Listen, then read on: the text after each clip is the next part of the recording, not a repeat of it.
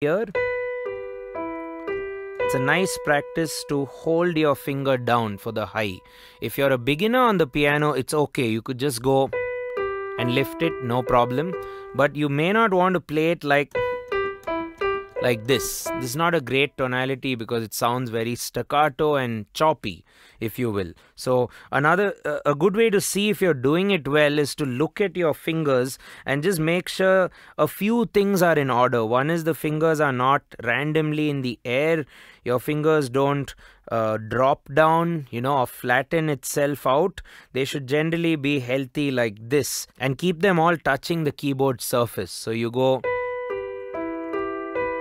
and try to avoid dropping your hand and try to avoid lifting your fingers.